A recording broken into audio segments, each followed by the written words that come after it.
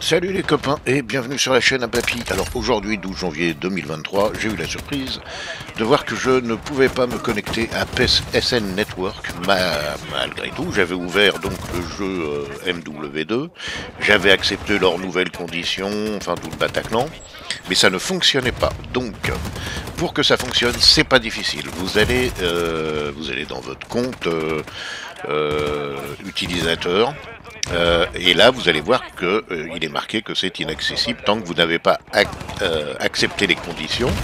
Donc là, vous allez avoir un petit, un petit blabla, vous acceptez tout, et là, vous avez à nouveau accès à votre jeu. Voilà, c'est tout simple, mais il faut le savoir. Salut, un petit like, un commentaire, un partage, et j'espère que ça vous aura dépanné.